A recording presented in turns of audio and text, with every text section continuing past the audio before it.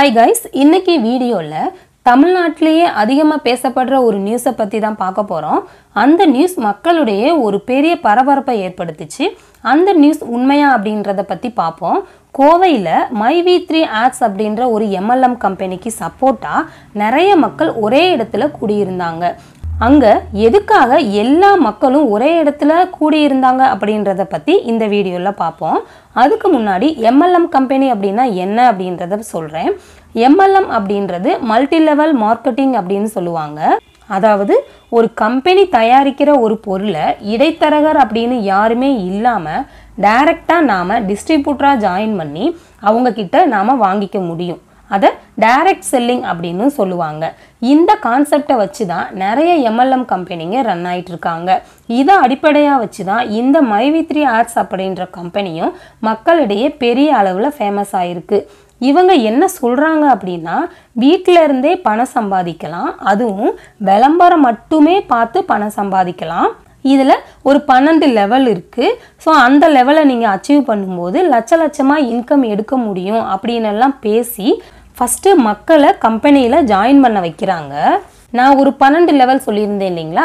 அதெல்லாம் என்ன அப்படின்னா ஃபஸ்ட்டு ஜாயின் பண்ணும்போது பேசிக் லெவல் அப்படின்னு சொல்கிறாங்க அதுக்கப்புறமா சில்வரு கோல்டு டைமண்ட் கிரவுண்ட் அப்படின்னு சொல்லிட்டு இந்த மாதிரி லெவல்ஸ் எல்லாம் சொல்கிறாங்க ஸோ இந்த லெவலெல்லாம் நீங்கள் அச்சீவ் பண்ணணும் அப்படின்னா உங்களுக்கு கீழே ஒரு ஆள் சேர்த்து விடணும்.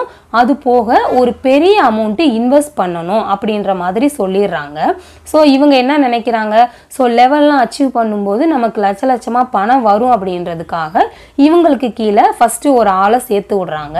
அதுக்கப்புறம் அவங்களும் அடுத்த லெவல் போகணுன்றதுக்காக இன்வெஸ்ட் பண்ண சொல்கிறாங்க ஸோ இப்படி கீழே இருக்கிறவங்க இன்வெஸ்ட் பண்ண இன்வெஸ்ட் பண்ண மேலே இருக்கிறவங்களுக்கு பணத்தை மாதம் மாதம் ஒரு பர்டிகுலர் அமௌண்ட்டு பிரித்து பிரித்து சேலரியாக கொடுக்குறாங்க.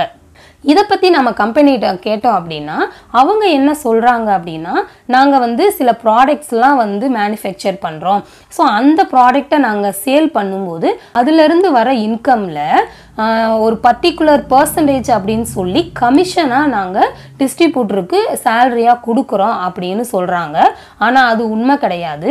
ஏன்னா டிஸ்ட்ரிபியூட்டராக ஜாயின் பண்ணுறவங்களே அடுத்தடுத்த லெவல் அச்சீவ் பண்ணும்போது அவங்களோட அதாவது மைவி த்ரீ ஆட்ஸோட ஓன் ப்ராடக்ட்ஸை ஃப்ரீ ப்ராடக்ட் அப்படின்னு சொல்லி அவங்களுக்கு அதாவது அடுத்தடுத்த லெவல் போகிற அந்த டிஸ்ட்ரிபியூட்டருக்கு ஃப்ரீயாக கொடுக்குறாங்க. ஸோ ஆயுர்வேதிக் பொருள் அப்படின்னு சொல்லி கொடுத்துட்றாங்க அது யூஸ் ஆகுதோ இல்லையோ இவங்களும் ஃப்ரீ ப்ராடக்ட் அப்படின்றதுனால வாங்கிக்கிறாங்க.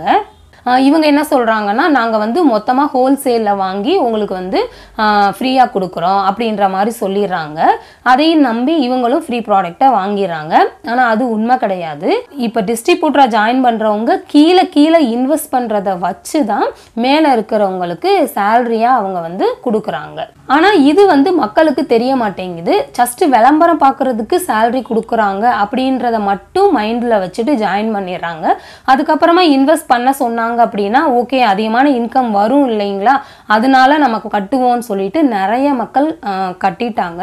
கூட்டத்தில் கலந்துக்கிட்ட மக்கள் எல்லாருமே மைவி த்ரீ கம்பெனியில் ஒர்க் பண்ணுறவங்க தான். அதாவது டிஸ்ட்ரிபியூட்டராக ஜாயின் பண்ணவங்க தான். அவங்கக்கிட்ட நீங்கள் வந்து இந்த கூட்டத்துக்கு வரல அப்படின்னா உங்களுக்கு இன்கம் வராது அப்படின்னு சொல்லி ஒரு வாட்ஸ்அப் மெசேஜ் எல்லாருக்கும் காமனாக போட்டு விட்டாங்க. அவங்க என்ன செய்வாங்க? ஐயோ இன்கம் வராது அப்படின்றதுக்காக ஒரு கூட்டம் தானே அப்படின்னு நினச்சி எல்லாருமே அன்னைக்கு ஜாயின் பண்ணிட்டாங்க. ஸோ அதுக்கு சேர்ந்த அந்த கூட்டம் தான் ஆனால் அவங்களுக்கு தெரியாது உண்மையான விஷயம் என்ன அப்படின்னு. ஓகே இப்போ உண்மையான விஷயம் என்ன அப்படின்றத உங்களுக்கு நான் சொல்கிறேன் போன மாதம் பத்தொம்போதாம் தேதி அதாவது ஜனவரி பத்தொம்போதாம் தேதி கோயம்புத்தூர் போலீஸ் ஸ்டேஷனில் ஒரு கம்ப்ளைண்ட் வந்து கொடுக்கப்பட்டிருக்கு. அந்த கம்ப்ளைண்டில் என்ன இருந்துச்சு அப்படின்னா மைவித்ரி ஆட்ஸ் அப்படின்ற கம்பெனி விளம்பரம் பார்க்கறது மூலமாக சேல்ரி எடுக்க முடியும் அப்படின்னு சொல்லி ஏமாத்திட்டு இருக்காங்க அப்படின்ற மாதிரி கம்ப்ளைண்ட் கொடுத்துருந்தாங்க. இதை தெரிஞ்சுக்கிட்ட மைவி த்ரீ ஆட்ஸ் கம்பெனி எந்த ஒரு தப்பும் இல்லாத மாதிரி அவங்களோட டிஸ்ட்ரிபியூட்டர் எல்லாத்திட்டையும் பேசி இந்த மாதிரி நம்ம கம்பெனிக்கு எதிராக ஒரு பொய் கேஸ் போட்டிருக்காங்க.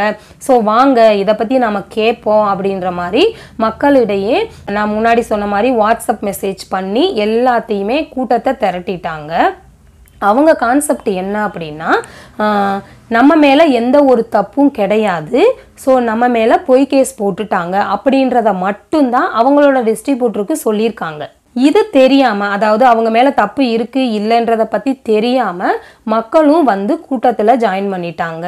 இந்த மைவி த்ரீ ஆர்ட்ஸ் என்ன நினச்சாங்க அப்படின்னா மக்களோட பலம் எங்களுக்கு அதிகமாக இருக்குது அப்படின்றத காட்டுறதுக்காக இந்த மாதிரி ஒரு கூட்டத்தை திரட்டியிருக்காங்க. இந்த கம்பெனி நேர்மையாக தான் நடக்குதா அப்படின்றத விசாரித்து நமக்கு ஒரு முடிவு சொல்லுவாங்க. ஸோ நிறைய கம்பெனி வந்து இந்த மாதிரி மக்களை ஏமாத்திட்டு தான் இருக்காங்க. அதே மக்களை பயன்படுத்தி செஞ்ச தப்புலேருந்து தப்பிக்கவும் முயற்சி செய்கிறாங்க இதே மாதிரி பல எம்எல்எம் கம்பெனிங்க நம்மளோட நாட்டில் இருக்க தான் செய்யுது. ஸோ மக்களாகிய நாம தான் உஷாராக இருக்கணும். எந்த ஒரு ஆன்லைன் பிஸ்னஸில் நீங்கள் ஜாயின் பண்ணுறதா இருந்தாலும் நல்லா விசாரித்து ஜாயின் பண்ணணும். எல்லா எம்எல்எம் கம்பெனியும் தப்பானது அப்படின்னு சொல்ல மாட்டேன். சில நேர்மையான கம்பெனிங்களும் இருக்காங்க. அந்த மாதிரி கம்பெனி எது அப்படின்றத நீங்கள் விசாரித்து அதில் ஜாயின் பண்ணணும். ஸோ அதில் ஜாயின் பண்ணுறது மூலமாக நம்மளால் கண்டிப்பாக ஒரு இன்கம் எடுக்க முடியும். ஓகே ஃப்ரெண்ட்ஸ் இந்த வீடியோ உங்களுக்கு பயனுள்ளதாக இருந்துச்சு அப்படின்னா லைக் பண்ணிவிட்டு ஷேர் பண்ண மறக்காதீங்க.